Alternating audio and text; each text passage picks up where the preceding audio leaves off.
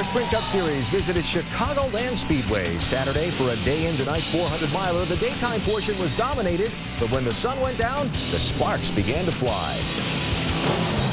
Only 17 laps to go with Jimmie Johnson and Brian Vickers on the front row. Mark Martin lines up third. Johnson sideways, three wide. Denny Hamlin in the middle going for the race lead. And Brian Vickers all the way to the bottom. He'll take the top spot. Denny Hamlin wants a piece of this. They make contact. Vickers is into Denny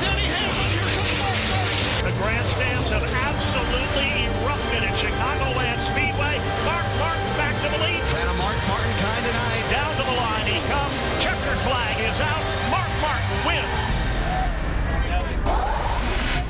Mark Martin scored his series-leading fourth win of 2009, leading 195 of 267 laps, but he sure had to work for it in the end, fighting through a series of late cautions and shootout-style restarts that saw him lose the lead, get it back, and survive a late challenge from Jeff Gordon. From double-file restarts becoming three wide in turn one, to pit strategies, great saves, and late crashes, our roundtable panel picks it apart next on NASCAR Now.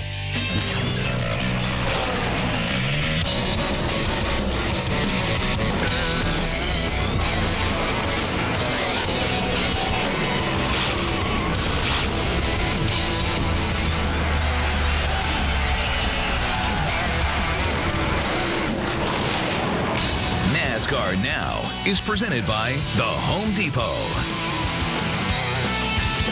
And from the Home Depot Garage Studios, we welcome you to the fantastic finish edition of the NASCAR Now Monday Roundtable. It's a favorite saying of mine. You never know who's going to win until the checkered flag waves. And while Mark Martin dominated Saturday night's race, there were enough twists of plot at the end to even keep old John Grisham happy for sure. We'll pick it all apart with our roundtable panel. This week we welcome Boris Said, Terry Labonte, Ricky Craven. Uh, to start, what did you enjoy most about Saturday night's race? Easy, the double file restarts. I thought those were so exciting. I'm glad NASCAR did that.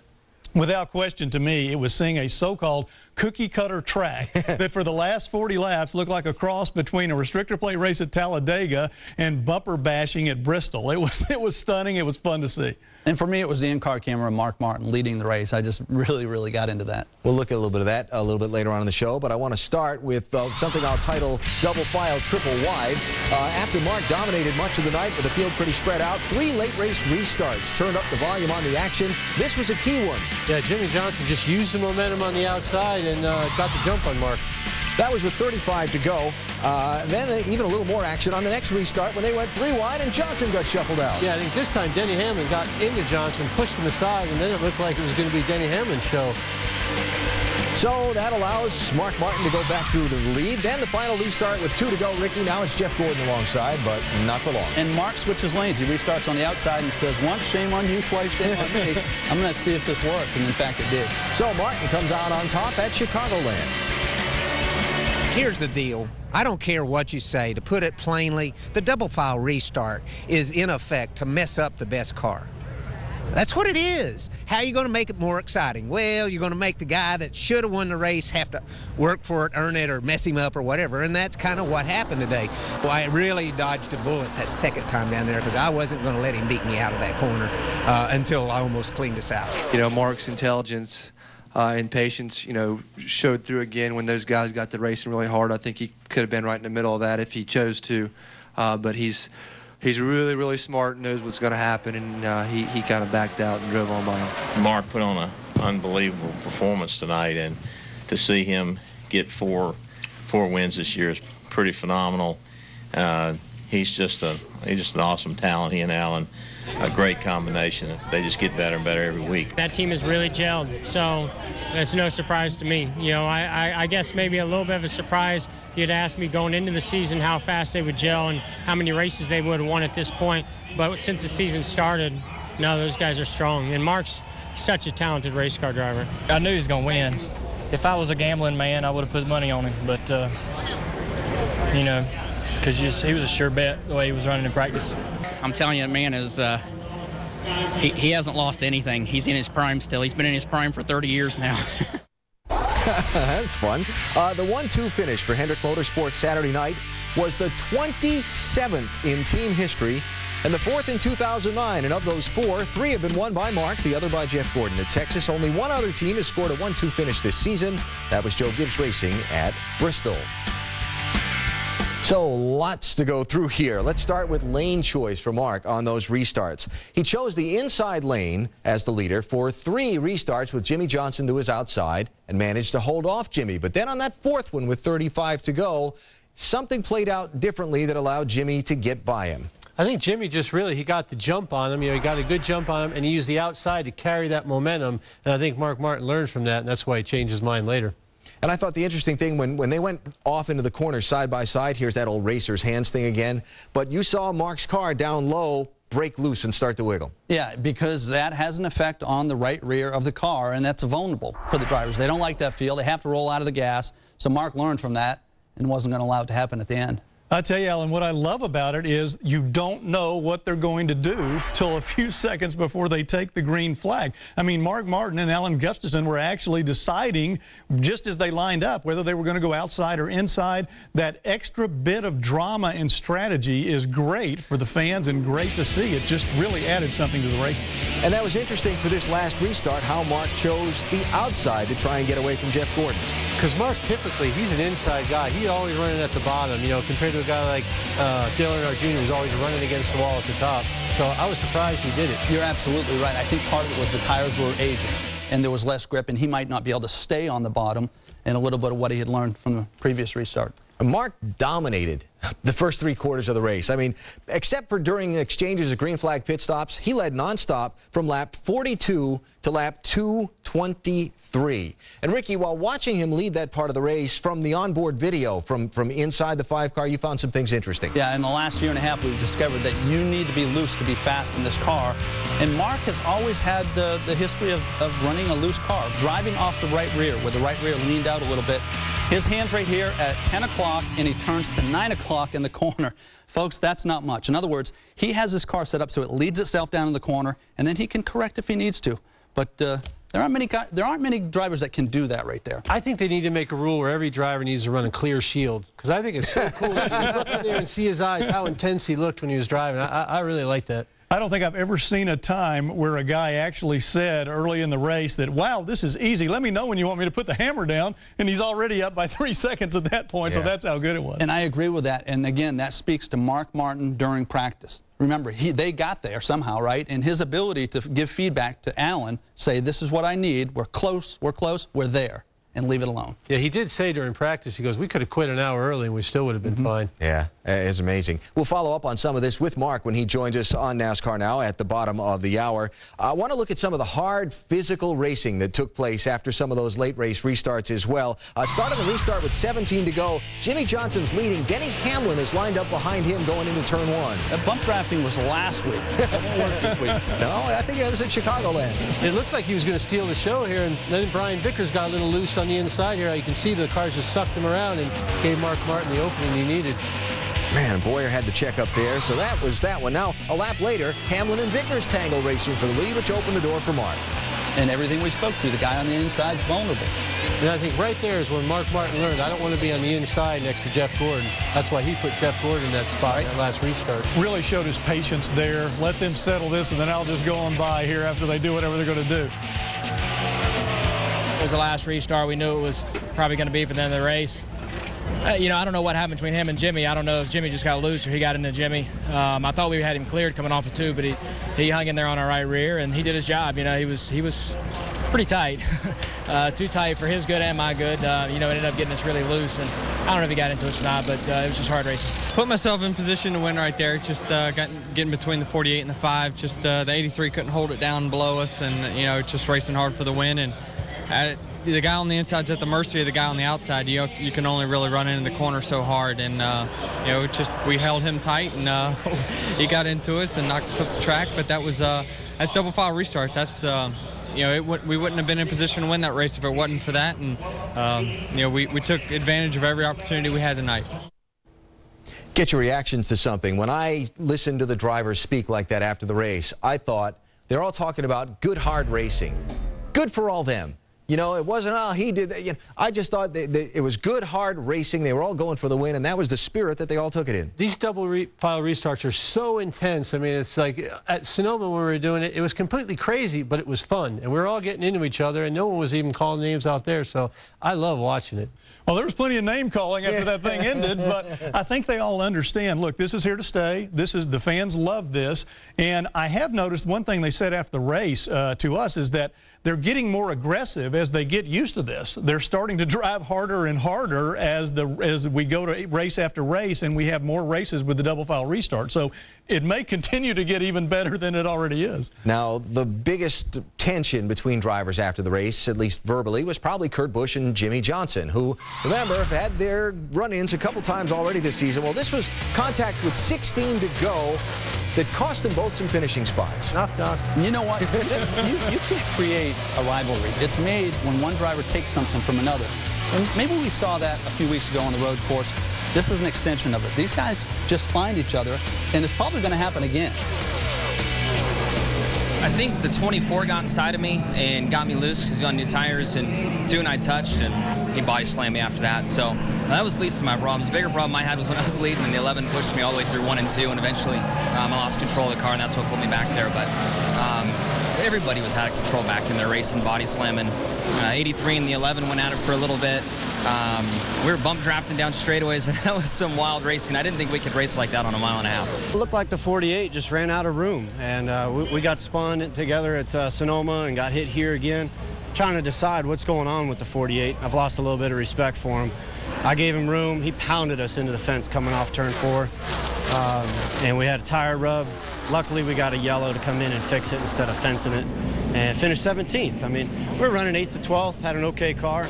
Uh, but when he had that bad restart, man, he was like a ping pong ball just bouncing off of guys. All right, so those were probably the hardest feelings expressed, at least publicly anyway, uh, after the race. Thoughts on what happened? I just think with these double file restarts, there's going to be a lot less Christmas cards going out this year. That's just hard racing, and uh, it's exciting for the fans. If I wouldn't have known, I would have thought we were at Bristol. Yeah. I would, you know, if I wouldn't know what track it was at. And with the cars lined up the old way, with the lap down cars, you might lose a spot, maybe two. In this case, when you lose three or four spots in less than a half lap, I think the driver's intensity goes up maybe a little too quick. And, and, we're watching in slow motion. They're going 190 miles an hour when they're hitting each other. I think the tendency is for the drivers to get it back in one corner, and that's a recipe for disaster. And isn't it funny how when drivers seem to get on these runs of being together, you know, I mean, this is three times in four races, those two guys have gotten together, and then, you know, they'll end up parked next to each other in the garage right. next week. Gotta love that about this sport. It just always seems to happen. Our uh, Sports Nation poll question tonight is which 09 race winner is most likely to miss the chase? You've got Kyle Busch, Mark Martin, and Matt Kenseth near the bottom of the chase standings. The guys with the most wins this season. Uh, three of the four, anyway. So uh, log on to ESPN.com, cast your vote, and we'll have results in a discussion with our panel later in the show. Coming up, we will look at the race to the chase. Some late Saturday wrecks put some pressure on that bubble for some a discussion in just a couple of minutes. We'll also look at the adventure-filled night the championship leaders, Tony Stewart and Jeff Gordon, had at Chicagoland. Great stuff for both. And later, the winner of Saturday night's race, Mark Martin, joins us to talk about it. That and more still to come on the NASCAR Now Monday Roundtable.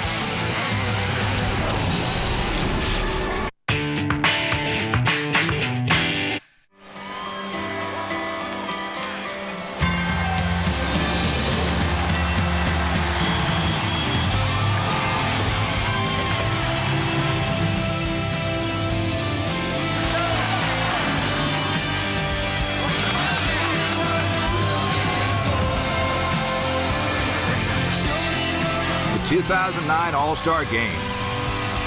See it live tonight, only on ESPN America. Texas Western takes the first major sports title the school has ever won.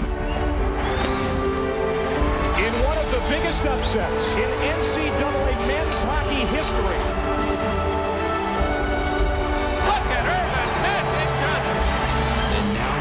See it too the greatest college sports video library of all time. Introducing the new NCAA.com, the official site of college sports.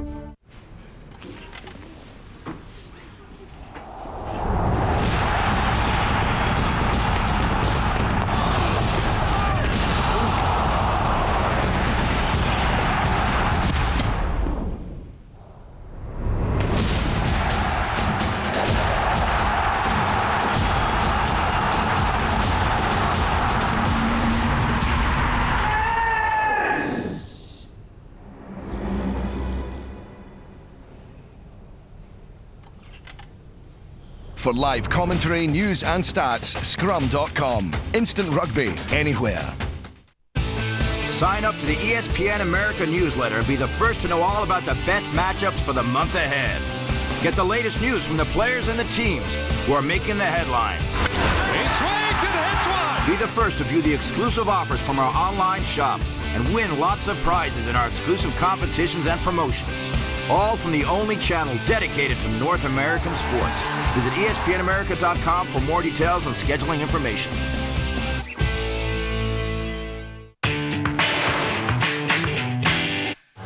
Strategy and some hard driving helped a couple guys end up with great nights. Jeff Gordon and Carl Edwards nearly wrecked racing for position here at lap 138. Great driving, guys. I'm not sure how they saved those. Sideways at 190. Pretty cool. That's something. Watch this. Yeah. Then under caution at lap 248, those two were among eight lead lap cars called to pit road for fresh tires. Bold call here by Steve Letarte. I think it was a great call, and uh, and it obviously helped. Uh, then when the other guys got knocking around in front of him, Jeff Gordon hung a left. I'll, I'll take those spots. While you guys are sparring, I'm going to slide on by. That's Jeff Gordon saying, thanks for no out of bounds line there. Yep, passed Denny Hamlin for second with 10 to go. Had a shot at Mark Martin on the final restart, but wound up having to take second place money on the night. As we showed you, Mark got away. Yeah, we showed the night before when Joey Logano won the nationwide race with old tires. He held off the guys with newer tires. Same tonight. Tony Stewart started 32nd, raced his way up into the top 10 by lap 55. Uh, led a lap during green flag pit stops at lap 96 and just had a super race car. And it's what we've come to expect of Tony Stewart. He's he's been resilient all year, been fast, and he re recovers again. But after working his way all the way to the front, has to go to the back twice. First at lap 212, um, you got to have all those lug nuts attached before you leave pit road, so he has to come back in for that one, goes back of the line. Then under caution, just after a pit stop, cuts down a tire, has to pit again. Goes to the back of the lead lap cars. Uh, Gordon, uh, Stewart rather, using the same late race strategy as Gordon, stopped at 248, got the fresh tires, raced his way through all the mayhem, and Tony Stewart comes up with fourth place money. Does he does he race Ryan Newman any harder The knowing key it's was, his? you know, since he took the outside, my car worked better on the inside, and I think his did too. Was to, to at least be at his rear bumper going into turn one. But he, he took off early, and I spun the tires, and you know at that point. It, it was kind of a, a desperate effort, and then the nine got to the outside of me. I, I mean, I didn't know where that came from. It s- surprised me, and really, uh, you know, put us in a position just to fight hard to get second. Solid night, and then it got to be really bad, and then it got really good at the end there. So uh, I'll, I'll take a I'll take a fourth place tonight with where we were with about 30 to go. When you can have two cars fourth and sixth, I mean you can't call it a bad night. So uh, I know Ryan got they got back a little bit at the beginning there, and it looks like they uh, got their way worked back up at the end too. So really proud of both of these teams for being able to climb as hard as they did at the end of the night. You know what? I didn't even even realize Stewart was that close to Menard's wreck until I just saw that right there. Had quite a night going, didn't yeah, he? yeah. Uh, was there something you were trying to say? I, I was just wondering that. I wonder if Tony Stewart races Ryan Newman any harder now that he knows it's his car and he's got to pay the bills. No, you never know. First thing, back to Gordon and Edwards. How did they save those race cars? That was something. I'm going to tell you that it was something. And from Carl Edwards' standpoint, he knows if he overcorrects, he's taking Gordon out. Gordon is depending on his spotter because he can't see Carl at that point. But Gordon was sideways for 100 yards right there. 180 miles an hour. I I almost think on the restart these guys are thinking, I know somebody's going to hit me or I'm going to hit somebody, so I'm going to be ready for this. That was incredible. So great job of driving by both of them there and, uh, and great saves. The strategy, when Gordon and Stewart stopped at lap 248, then ripped through the chaos on fresher tires. What did you think at the time of the call to pit and the call by Martin's team not to stop? I thought Martin was in trouble, frankly. I, I didn't think he could stay up there without changing the tires to get four tires. But I mean, if you're if you're up front, you that's a chance you have to take. I mean, I disagree, though. The night before, we saw Joey Logano was the only guy not to pit. Everyone thought he was dead in the water with Kyle Busch with four fresh tires, and he went on and pulled away. So Yeah, but I think Mark made the smart call. You, you might have seen Logano do that the night before, but did you really think that that was the exception to the rule? Uh, the way Mark Martin's I car was all night on those old tires, I thought it was the right call. And the clean air seems always to be important. I think you could have had Flintstone tires.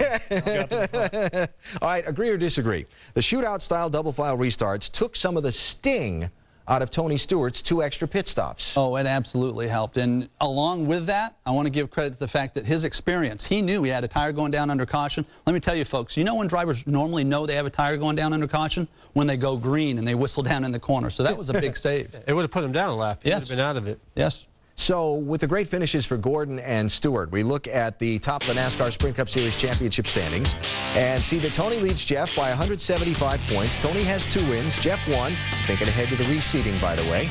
Uh, the top four in points did not change places after the Chicagoland race. Denny Hamlin did move up a spot to fifth. Coming up next, cautions breed cautions. The old saying, so true. We'll look at more of the late race mayhem made uh, Saturday night and how it made the finish pretty fun.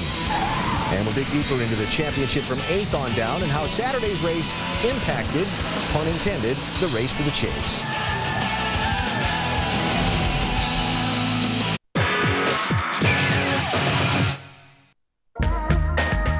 Tonight on ESPN America.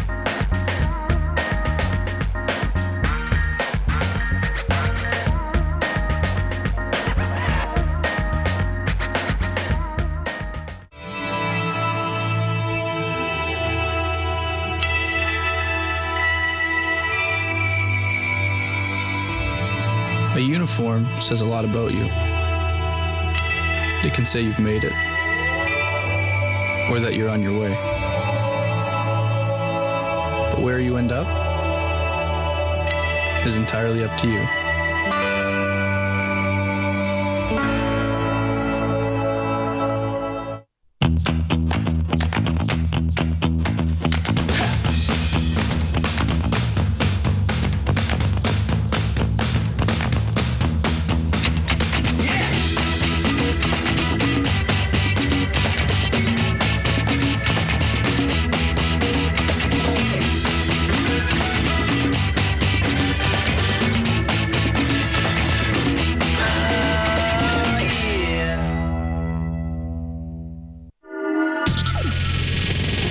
Pardon the interruption, but I am Mike Wilbon. And I'm Tony Kornheiser, and they have asked us to explain our show, PTI. It's two veteran sports writers discussing the major American sports issues of the day. And I occasionally wear a sundress. Whew, please watch us anyway on ESPN America. Where are my earrings? Have you seen my earrings? I don't know. Really?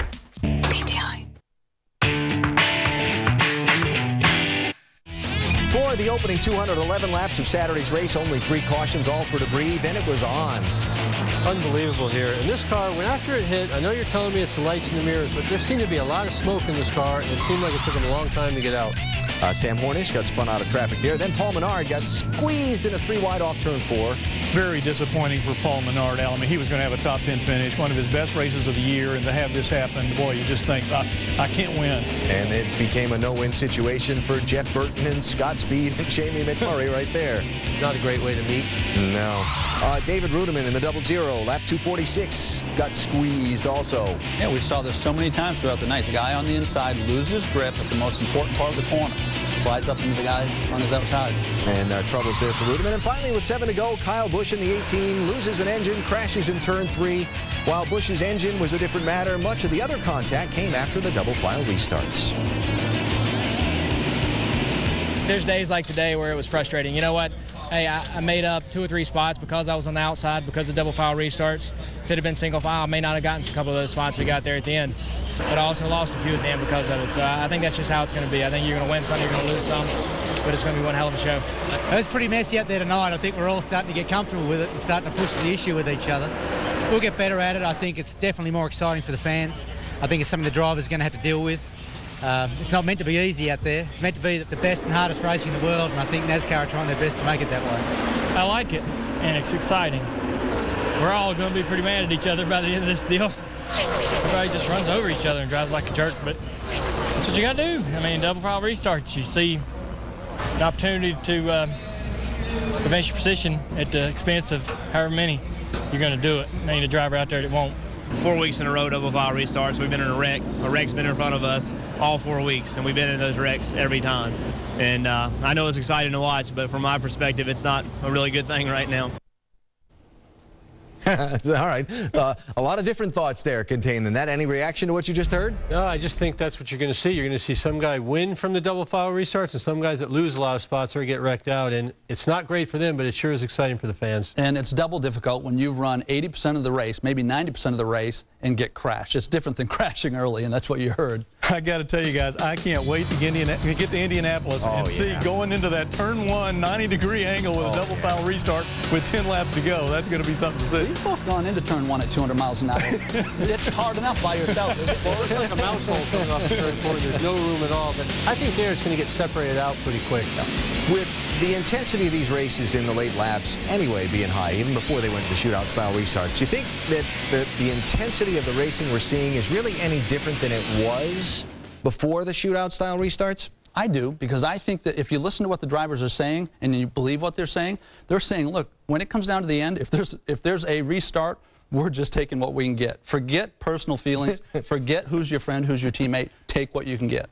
Yeah, it's a, it's a little bit like it, restrictor plate. It doesn't matter who your teammate is. In the end, you got to go where you think you can go to get the best situation, and that's what they're doing. I lived at Infineon, and I'm telling you, if you're not aggressive, you're going to lose a lot of spots. And it is so intense, and it's a lot of fun, I think. So I'm all for it. The only thing I could think of when, when I heard uh, a couple of those things, uh, I think it might, might have been Junior's piece there.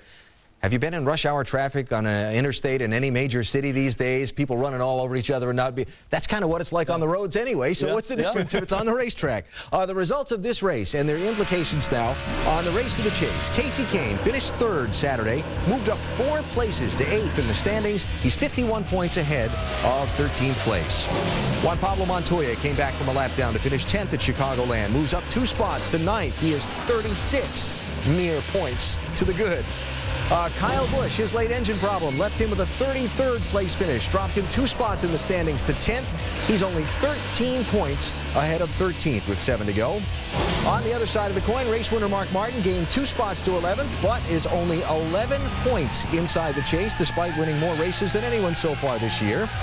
And then there's Matt Kenseth. He won the opening two races this year, but has only five top tens in the 17 races since. Matt's 12th, 10 points ahead of 13th with seven races to go. There you go, 8th through 14th, only separated by 117 points. A couple other notes from Saturday. Greg Biffle finishing 31st, cost him four spots in the standings, while Jeff Burton caught up in that wreck. He's 182 points out of the chase with seven races to go. Still to come, Friday night's NASCAR Nationwide Series win at Chicagoland by Joey Logano. Strategy and late race restarts played in that one as well. But up next, the winner of the race, Mark Martin, joins us on the NASCAR Now Monday Roundtable. We'll see what he's got to say on this Monday.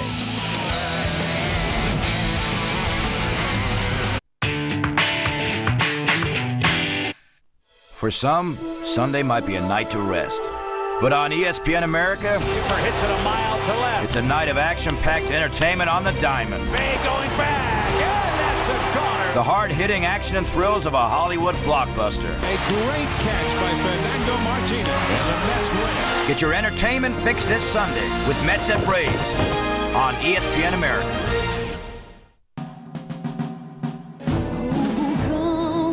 Just come along.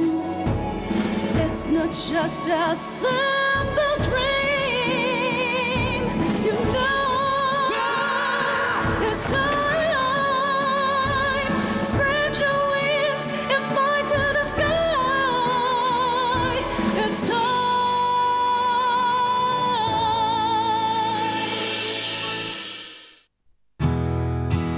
One of my memories of uh, Rebecca was uh, in a blue dress and her fluffy f- slippers running up the garden with a look of sheer delight on her, on her face because the guinea pigs had been born. At seven years of age, she came in and said if anything ever happened, she wanted to be a donor. The important thing is to talk about it as a family, not just to sign up and then forget about it. You wanted, and for us, we'd have failed Rebecca if we hadn't have done it. I mean, you can't change tragedy. You can't change it, but you can make something more positive out of it.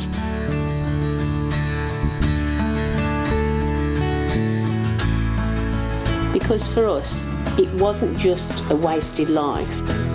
It's, it's, it's a gift, it's a, mm. and it's an altruistic gift. Enormously. Right from the word go. Yeah.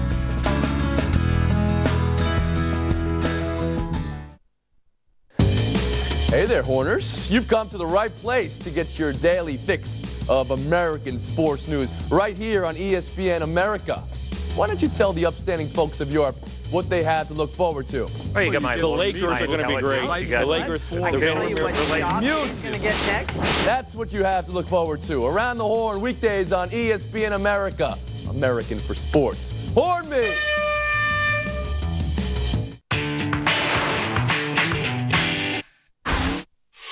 Number of guys are just outside that top 12 needing to make something happen. You know, you'll want to stand on the gas, you want to go for the win, but yet you want to stay in the points and leave here as high in the rankings as you can. The pressure is on big time. Try to help me make no mistakes. I'll try to help you guys. Yeah, 10-4. We'll do it all night long here, bud. Here they come. Team Red Bull cars lined up as the green goes in the air and Vickers gets the jump. Vickers had spread away at the drop of the green flag, but now he's got company. The low Chevrolet, Jimmie Johnson right there. Try some different lines and stuff here. 10-4. Jimmie Johnson is up alongside this time, and he'll make the pass. Let's settle in here, try to get some good laps. Jimmie Johnson leading this race with ease, but he is not the fastest car on the racetrack. The five car is the fastest car out there, but he's the only car on the racetrack faster than you. We need to lead as many as we can, but take care of it. Sun is setting. The lights are on here at Chicagoland Speedway, and uh, Mark Martin right now is loving it in the moonlight. Oh, this is easy, bud. If you want me to put the hammer down? I'll pull on out. Nights like this just don't happen very often where you have got the field as completely covered as Mark appears to have. Hey, Mark, you know the Boston 60 is coming up, right? We're going to get him a big present. Yeah.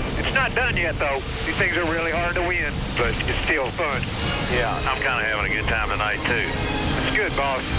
Kyle Busch has just about knocked down the wall in turn three. Stay with the front, loose with the back, tight behind cars, loose behind cars.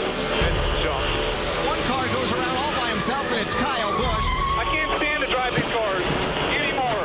Kyle Busch teetering on the brake, being out of the chase right now. Get ready to get back at it here at Chicagoland. Green flag in the air. Time he climbs the banking. They'll go wheel to wheel. Jimmie Johnson to the race lead. Wow. That was nice. Mark Martin, who has dominated all night long, has just got the drop kicked all the way back to the third position. We'll get him back. Don't worry about it. I think radio silence would be in order right now. War's on. 10-4. Johnson sideways, three wide. Denny Hamlin in the middle, going for the race lead. And Brian Vickers all the way to the bottom. He'll take the top spot. Still there with the 11. Still there with the 11. Contact. Vickers is into Denny Hamlin. Here comes Mark Martin. Martin takes the top spot. Mm-hmm. The best car is running out front right now. Mark Martin pins it to the bottom of the track. You stop somebody. You're the man,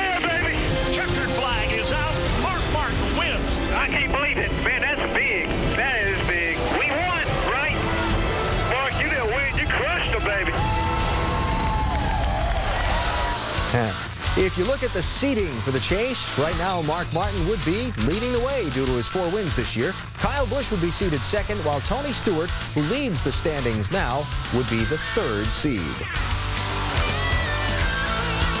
He said if he kept winning races, he'd keep joining us on Mondays to talk about it. And He's a man of his word, the winner of Saturday night's Chicagoland race for the NASCAR Sprint Cup Series. Mark Martin joining us from his home base in Daytona Beach, Florida. Mark, thank you for the time again and congratulations. Thank you, man. It's good to be back with you. it's, a, it's a great occasion. You know, you led so Yes. much of the race. You led from basically lap 42 to 223 without stop, except during green flag pit stops. Even commented at one point on how easy it was the way your car was performing. So what was the difference at the end when it got so tough for you with Jimmie Johnson and all those other guys? Double file restarts, um, you know, and our car was exceptional on long, uh, long green flag runs. Um, I would have to run hard for, you know, 10, 15, uh, 20 laps or so, and then, you know, after that, it was just uh, a cake after that. So um, we didn't get a lot of those short runs early in the race, and, uh, I, you know, I knew it was coming. It always does, all the cautions at the end. Um, you know, and um, you know we had to earn it. It was uh, it was hard work. You, you're talking about Jimmie Johnson. You're talking about Superman, and uh, you know, um, man, he was throwing everything he had at me, and and uh, you know, just that inside lane down there on cold tires uh, sucked the back end around. He knew what he was doing, and uh, you know, so uh, we had to go earn it. And then you had to hold off Jeff Gordon on the last restart and chose that outside lane. And I was fascinated listening to the radio conversation between you and Alan Gustafson on the telecast about what a difficult decision this must have become now and a new wrinkle to your racing. How difficult was that? It's pretty difficult because I don't like the outside at all. And, uh, you know, I, I, I, really hate giving up the inside. But obviously, uh, you know, we both knew that, uh, you know, with Jeff with fresh tires, uh, or much fresher tires than we had, um, you know, sticking him on my right rear quarter panel going into turn one was going to be a handful. And, uh, and so we chose to try to battle it from the other side. And, uh, and we just got a great start. Our car had, had actually got good starts all night, and we got a great start. And, you know, you don't want to let yourself believe this, but Jeff wasn't coming even on the new tires. Once he got into second, before that caution came out, I had Alan calling the lap times, and we had already evened out. So, you know, my car was just really spectacular, um, and, uh, and and Alan is just, you know, it's just a dream to work. I think all us guys, uh, this team, really, really do love each other, and uh, you know, we, we really feel a lot of of uh, camaraderie, and um, it's just makes it fun to go to the race every weekend. I want to back up and talk about the early part of the race for just a minute. At one point, we also heard a radio conversation basically with you telling Alan, this is easy. This car is so good. When you're out front like that and you've got a car that's that good, but you know the end of the race is still lying ahead of you, are you one of those guys that, that, that uh, I want to say gets worried about the end of the race while you're still in the middle of it with a car that good? Well, Alan, I've been doing this stuff a long time, and I've had more than two or three good race cars, and uh, I've lost way more races than I've won. So, you know, they're never, they're, you know, to me, they're never won until they're won. And then even after we took the checkered flag, I still couldn't believe it and had to ask them if had we really won that race. So, uh, you know, I, I know better than to count uh, my chickens before they hatch. Uh, and by the way, that was about 30 laps into a set of tires uh, at that time. So the car was at its very best, and, and it was just uh, it was just incredible. So, you know, I was just uh, letting him know that I could run uh, easier or harder, anything they really wanted me to do, and I was just encouraging Alan to have some input on on on our race. Uh, you know, he's so bright, um, and and the more that I can get him involved in in the race and in the part that I'm doing, I think the better uh, and more effective we will be. Mark, you uh, were talking about Rick Hendrick's birthday uh, in Victory Lane on uh, Saturday night. Uh, what's, what's your relationship like with Rick, and how has it changed in the six months or so that you've been driving for him? Well, you know, Rick has always been a, a great person. Um, you know, I didn't have a close uh, relationship with him until I started working with him. Actually, uh, a couple years ago, when they put me in his uh, in, in, his Busch car, and I had opportunity to work with Alan. Um, you know, we got to know each other better. He's just really a really, really special person. Uh, and, you know, Rick Hendrick is really having fun with this. Uh, he and Jeff Gordon both, uh, because, you know, um, they both uh, knew that we could do this, uh, but a lot of people would have told them that it couldn't be done. So I think they're enjoying doing what uh, some people thought couldn't be done.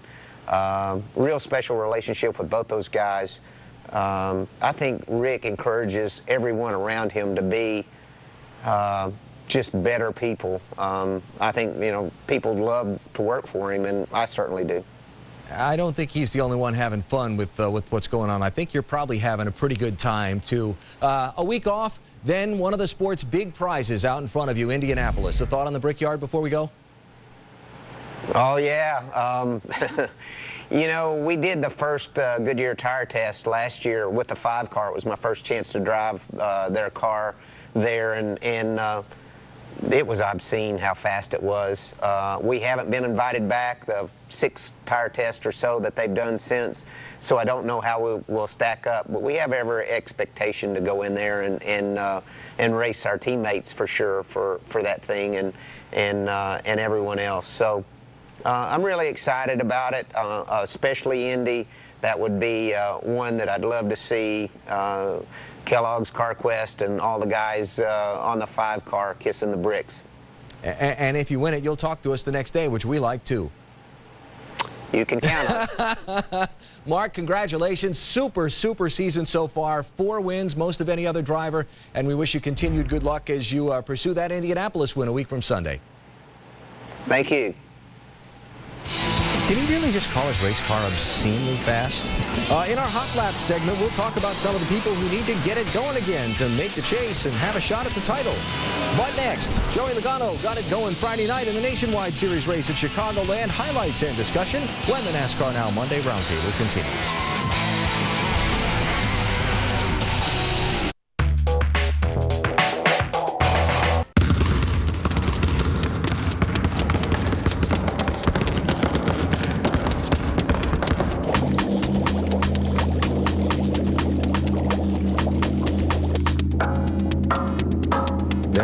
400,000 NCAA student athletes, and just about all of us will be going pro in something other than sports.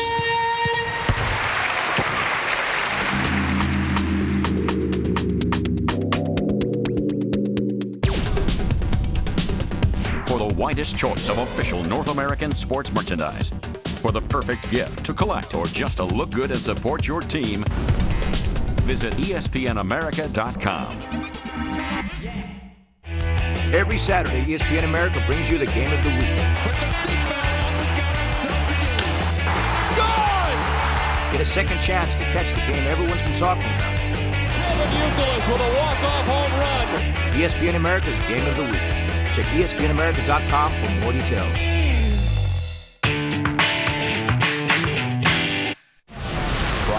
Night, 300 miles at Chicagoland for the NASCAR Nationwide Series. Carl Edwards started on pole, but the finish wouldn't be the Carl and Kyle show. It'd be the Kyle and Joey show. Logano led a lot early. Kyle dominated the second half of the race, leading from laps 94 to 174, including having a four-second lead over Logano after these lap 152 pit stops. But Logano ran him down and passed him with 25 to go. These two cars are in a league of their own, and Joey Logano right now, passing Kyle Busch, has got to give him a lot of confidence. So Logano runs out to a three-second lead, a lead that was erased by caution for debris with 15 to go. On this yellow, a little strategy play.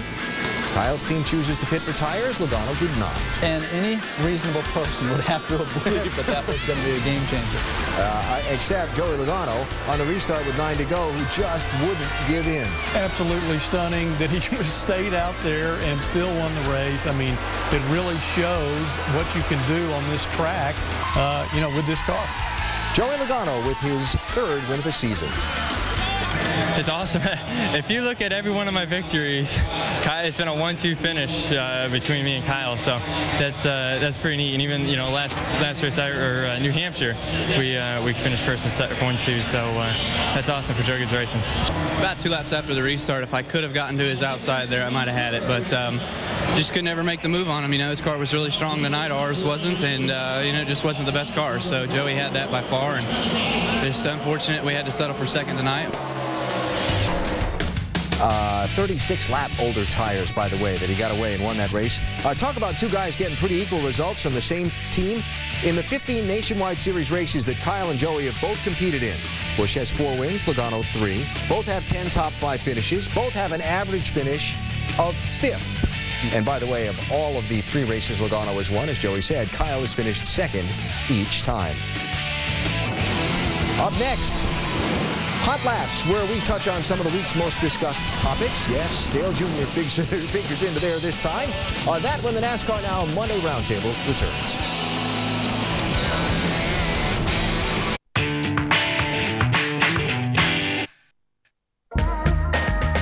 Tonight on ESPN America.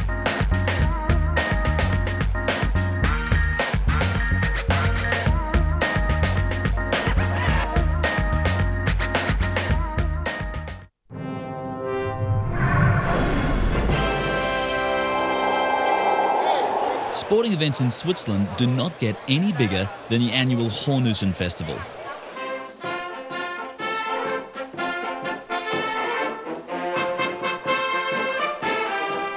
Hornussen employs some of the most esoteric equipment around. The bat, which is a cane made out of fiberglass carries a wooden weight called the traff. A curved metal rail called a buck is used to hold the puck-like object called the hornus. The fielders use a shingle, a flat wooden shovel, to stop the hornus while in full flight, limiting the amount of points scored by the striker.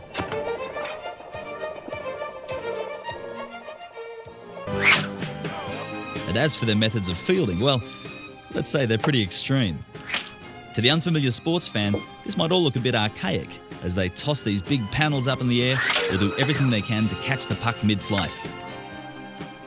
Offensive players, in the meantime, try to do their best to hit the Hornus as far as they can, as the point system is based on distance.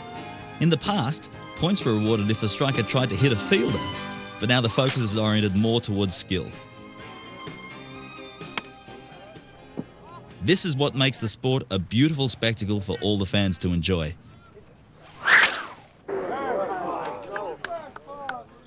Like any other competition, there can be only one champion. But in the end, they're all winners as they succeed in keeping the tradition of Hornussen's importance in Swiss cultural life, as it's a symbol for this country's unity and its people's diversity for over 700 years.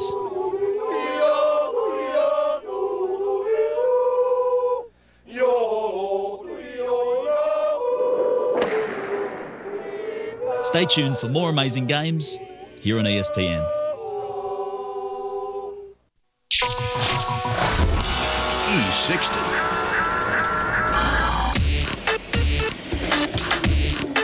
That's the answer. What's up? This your boy Dwight House. I want y'all to join me. We're gonna have fun today. Took some hot cookies for you guys. Enjoy yourself. You can't wear the Spider-Man shirt. It gotta be Superman. I always see you on the Magic game. Me? Which one am I? Like Howard? Oh, I heard of that dude. That's the tall guy who did the Superman thing. Y'all can't see the secret right now. He been doing secrets in my hair. NBA's best dress. Uh, well, before this year, I think it was you know Kobe or LeBron. But this year, I have to say uh, I took the crowd home. hey, Hurricane, you teach me how to box when we finish. You see the Hurricane? That's him right there in the flesh. The Hurricane. I heard they're doing the Hurricane too. The movie. Yeah, you didn't know that I was. This should be the stunt part. I'm up for the part. It's a new style right here. Yeah, really. The ripped shirt. Jeez. What I do for fun. I watch movies. What would you like to go? 2547 Queens Boulevard. You better get down, do it now. Get in the top. Who's the master? You don't have the glow, Leroy. Kiss my Adidas. Leroy. We had ESPN, the magazine photo shoot. I want to make love to the pictures while I'm taking them.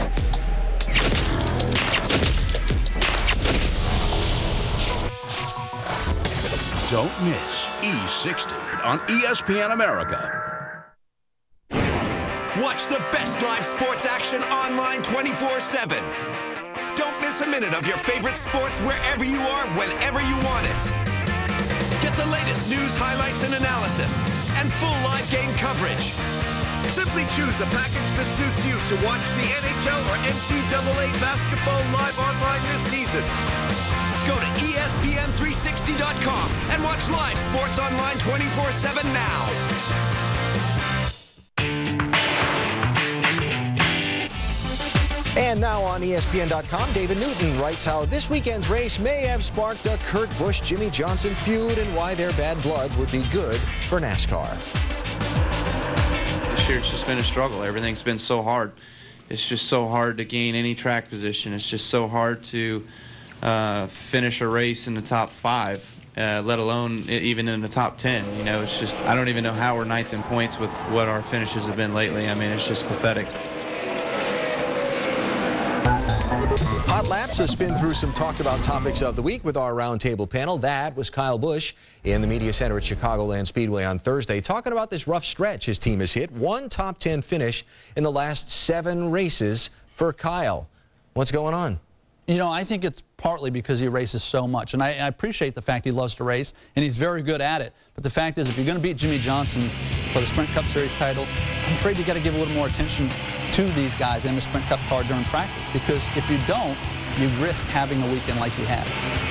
I think this is a very frustrated bunch right now. They, they are shocked by what's happened to them. What's scary is it looks a lot like he looked in the chase last year, and that was mm-hmm. not very good. Something's got to change for them to get back in contention for the championship. They make the chase. I disagree, Ricky. Last year, he raced like every single weekend, and he did yep. great. But yep. what's different this year, we're forgetting about, there is no testing.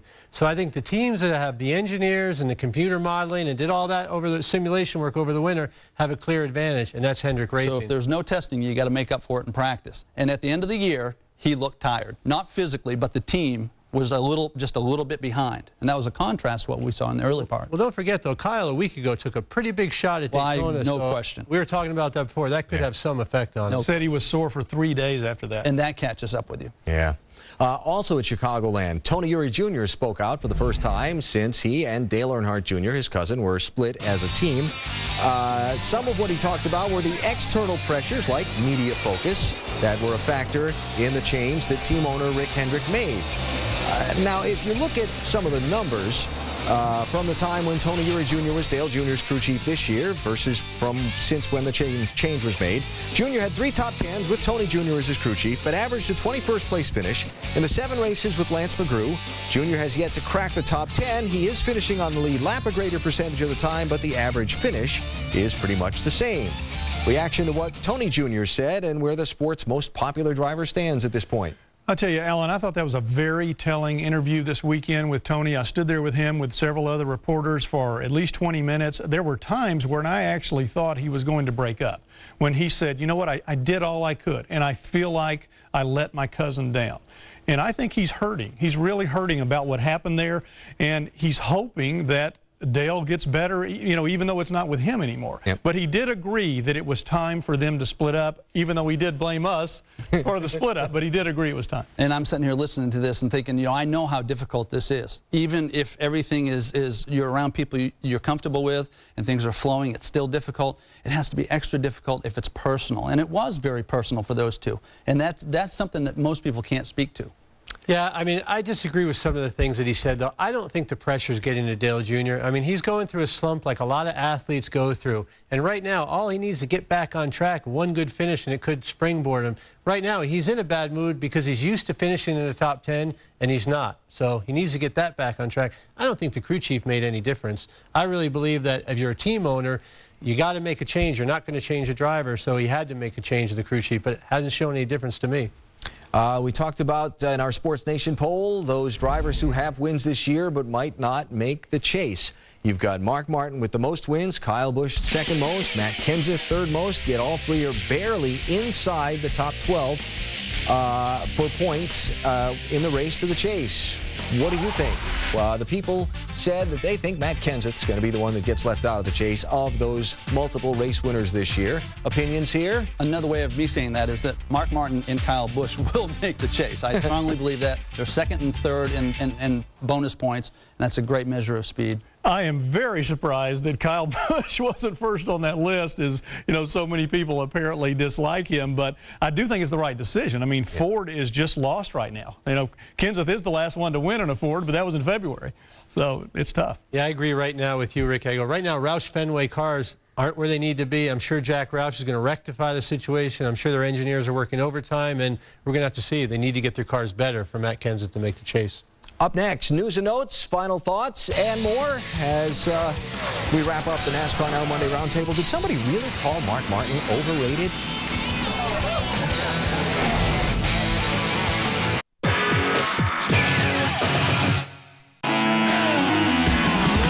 ESPN America puts you in the driver's seat this July. I drive my lead. With a Major League Baseball viewer's choice. Watching it go! Choose between Reds at Cubs. They're going crazy here at Wrigley Field. And Rays at Blue Jays. Line drive and a base hit into left. Vote now at ESPNAmerica.com and tune in Saturday the 25th to see the winning game live. An MLB viewer's choice, only on ESPN America.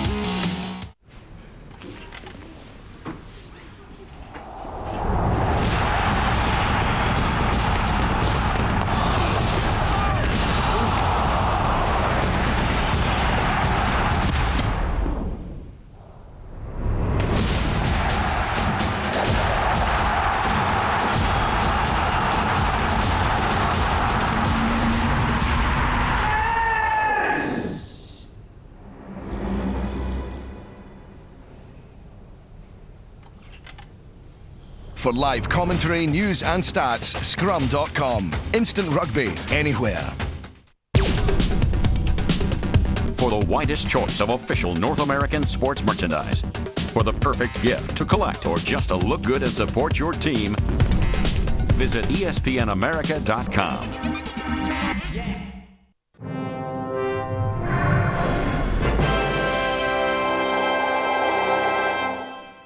Basque handball appears to be a more chaotic version of racquetball, but it's a sport that brings out all the passion of the Basque people. It's so big that the sport's gladiators are revered and emulated by the younger generations. Armed with only their hands and their unwavering competitive spirit, handballers face off night after night in the front on fighting for every point, as well as the fans' affections, since their loyalties can change that quickly. These competitors only know how to play one way, all out. This is the only way that they can one up their opponents on the court, and in doing so, wow the crowd. In the end, the winners are the fans, some leaving richer than others, but they were treated to a great match where the competitors left it all out on the court. Stay tuned for more amazing games here on ESPN.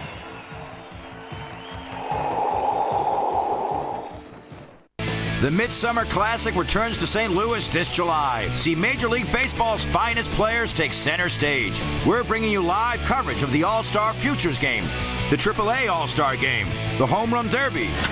That one is hit high in the air. And the 80th MLB All-Star Game live. That one is on its way. Goodbye. It's the MLB All-Star Week. Enjoy it all right here on ESPN America. And as soon as we're done with our NASCAR Now Monday Roundtable, we're going to talk some more about Mark Martin's big Chicagoland win. Flip on over to ESPN News for more on Mark Martin's Chicagoland victory. That's right after NASCAR Now is done. NASCAR Now, presented by the Home Depot. Visit homedepot.com. More saving, more doing. That's the power of the Home Depot. And in part by Nationwide Insurance, official auto insurance partner of NASCAR. Couple quick notes. Jacques Villeneuve didn't make out very well in the NASCAR Canadian Tire Series race Sunday. Uh, wrecked in the first lap, last place finish. Thompson, Connecticut, Saturday night. Ryan Truex passed pole sitter Steve Park with four laps to go. Won the Camping World East Series race. And uh, the car of Ryan's big brother Martin failed post-race tech at Chicago. NASCAR officials said the right rear quarter panel was too high. Usually decisions on penalties for that kind of thing come down on Tuesday. So, uh, our panelist here, Terry Blount, uh, wrote a book called The Blount Report. NASCAR's most overrated and underrated drivers, cars, teams, and tracks, and so on. And I read the book, and, uh, and, and as I said, when I wrote the forward to the book, you won't agree with everything he put. Did somebody really in that book call Mark Martin overrated? Boy, I thought we were going to get through this without that coming up. I did. You know, funny story to that. There were a lot of people involved in the book who wanted me to list Dale Earnhardt Jr. as the most overrated driver in history. And I said, guys, I am not doing that. Someone will burn my house. that is not happening. We finally settled on Martin because oh, I thought, you know, he, he didn't win the champion. He's never won a championship. He's just too nice a guy for his own good. That was the theme of it. And, I thought, and he's retiring. We're a few days from print he announces he's coming back to win for Hendrick Motorsports. And I said, oh, well, How's we'll that see. working out for you? Yeah. it, it is so funny. I'm at the bookstore with my family, waiting for them. I grab the book, I sit down and read it to make sure I'm not one of the over, overrated drivers. But uh, Mark Martin, my goodness, I think, wait a minute. It can't be. I get Mark Martin? I've raced against this guy, and I think that's the advantage that I have or Boris has. You race against guys, you see things that you don't see from the grandstand or from the infield. He is exceptional. All right, couldn't let that go. That's it. We're done. Goodbye.